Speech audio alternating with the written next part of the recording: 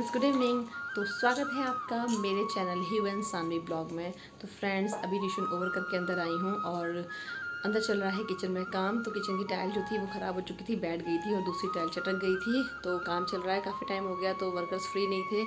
इस वजह से उनको बुलाया था बट वो आज आए हैं। तो आज शाम को कर रहे हैं काम। तो काम करते करते काफ़ी लेट हो जाएगा।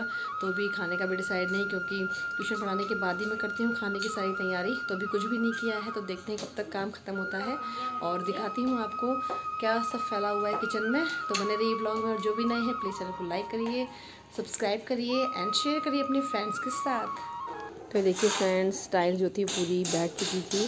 तो मतलब ऐसा लग रहा था कि ठोकर लगने के चांसेस हो रहे थे काफ़ी। तो अभी बुलाया है टाइल लगाने के लिए तो पूरा निकाल करके सही कर रहे हैं और एक टाइल के निकालने के चक्कर में बाकी दो ख़राब हो गई तो तीन टाइल इकट्ठी लगाई जाएँगी। तो चलिए, इसके बाद मिलते हैं।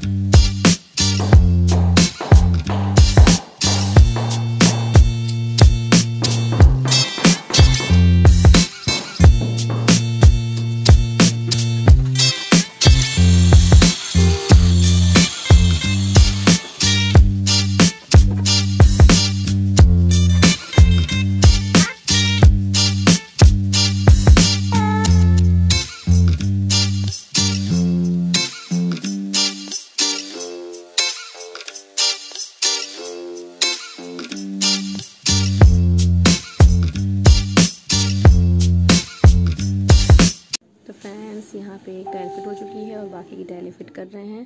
और अभी काम हो गया है फिनिश फिट कर दिया है इनने सारा। और अभी ईंटों से पूरा मेंशन कर दिया कि कहाँ कहाँ पे पाँव रखने नहीं है और ये तो मनाई कर रहे हैं तो आज खाना वगैरह बिल्कुल नहीं बनेगा।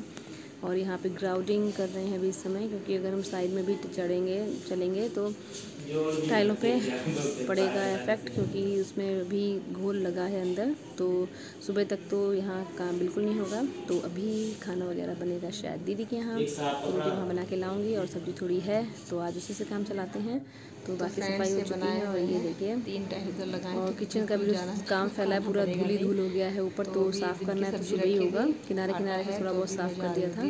क्लीनिंग अच्छे से नहीं हो पाई है तो मॉर्निंग में ही होगी तो अब करते हैं खाने की तैयारी। क्योंकि किचन में तो बनाना कुछ है नहीं तो मिलते हैं उसके बाद आपसे। खाने का। तो फ्रेंड्स खाना वगैरह हो चुका है डिनर कर चुके हैं। तो अभी किचन में बाकी सारा काम तो ऐसे ही छोड़ दिया है। और रोटी मैं दीदी के यहाँ गई थी बनाने के लिए तो वहाँ से आके खाना वाना खा लिया, बच्चों के लिए बनाई मैंने मैगी और बाकी सब्ज़ी थी हम लोग के लिए। थोड़ी दीदी के यहाँ से सब्ज़ी भी आ गई और रोटी भी तो आज का डिनर मतलब हो गया है। तो कल से तो स्टार्ट हो जाएगा काम, क्योंकि थोड़ा सेट हो जाएँगे टाइल्स जो तीन चार चेंज करनी है। और तो फ्रेंड्स अभी बज गए हैं नौ बज रहे हैं अभी और अभी बेटी का चल रहा है यहाँ कुछ डेकोरेशन तो ये अपना लगी हुई है टाइम पास करने में और बेटा अभी दूसरे रूम में है तो अभी मूवी वगैरह कुछ देख रहा होगा टीवी में तो अभी जब आएगा दवाई वगैरह देनी है उसको और हस्बैंड कल आएँगे मॉर्निंग में तो अभी आए नहीं हैं और इसका चल रहा है कुछ क्राफ्ट का आइटम कर रही है ये दिखाती हूँ आपको बैक कैमरे से क्या बना रही है ये।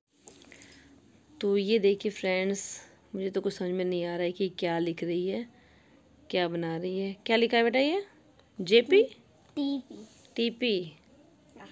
और ये देखिए यहाँ पे इसने कलर का शार्पनर से शार्प करके बिल्कुल मिक्स कर दिए सारे कलर और इनको भी डेकोरेट करेगी इसके ऊपर। तो उसका टाइम पास हो रहा है बाकी पूरी बेडशीट इसने गंदी कर दी है। पूरा सामान फैला करके रखा हुआ है यहाँ पे। और भी सभी क्लीन करना आप बेडशीट जितना फैलाया ना आपने सारा साफ़ करोगे। अदरवाइज़ यहाँ सोने नहीं दूँगी मैं आपको आज। मुझे सोना भी नहीं है। आज नहीं सोना यहाँ? अंदर के साथ सोना। अच्छा। आज पता नहीं है सो सकता नहीं तो तो आपके कुछ समझ में आ रहा है? ये ओ लिखा है मैंने। ओ। O only O? नहीं। ओ। ओ अच्छा ओ अच्छा ये ओ एच ओ है तो आपको सीधी करके दिखाती हूँ मैं। ये देखिए अब आपको क्लियर हो रहा होगा ये ओ एच ओ और ये एक्सक्लेमेटरी साइन लगाया है इसने ओ और यहाँ पे ये टी और ये पी तो टी पी ये ऊपर क्या है? ये मैंने अपना नाम लिखा था लेकिन गंदा बन गया। कहाँ से लिखा है अपना नाम ये? एच ये आई ये वाई ये यू अच्छा ही यू तो वैसे तो मुझे समझ में नहीं आ रहा है। H I Y U but clear नहीं आया है। ये तो समझ में आ रहा है? हाँ ओ एच ये भी कलर का है ना? हाँ। ये भी कलर का शार्प करके बनाया है। ये सारे कलर मिक्स करके बनाए हैं। और आधा घंटा पूरा बीत चुका है। साढ़े नौ हो चुके हैं इस समय और अभी भी इसका चल रहा है क्राफ्ट का। तो ये भी कोई वर्क नहीं मिला है स्कूल से बट ये अपना खुद को इंगेज करे रहती है और जो दिमाग में आता है वो काम करने में लगे रहती है। तो भी दिखाती हूँ मैं कॉपी सीधी करके कि इसने कौन कौन से वर्ड्स लिखे हैं इसमें। हालाँकि कुछ आपको समझ में आ गए होंगे साइड से देख करके दिखाती हूँ भी आपको। ये देखिए। ओ टीपी तो मैंने आपको दिखाया था नीचे लिखा है ओके फिर ये एन एस और ये डी एच और इधर ये स्टार बनाया है इसने। ये वाला स्टार है येलो कलर से। डी एच ये तो क्लियर समझ में आ रहा है। ओके एन एस तो देखने में काफ़ी अच्छा लग रहा है ये। देख सकते हैं आप। तो बस सब क्लोज करवाती हूँ उससे क्योंकि काफ़ी टाइम हो चुका है और मॉर्निंग में उठना भी है क्योंकि मॉर्निंग में कल ट्यूशन पढ़ाना है बच्चों को। तो मॉर्निंग में जल्दी बुलाया है। तो ब्लॉग आज का यहीं पेन करती हूँ फ्रेंड्स और मिलते हैं आपसे। अगले ब्लॉग में। तब तक के लिए बाय बाय गुड नाइट।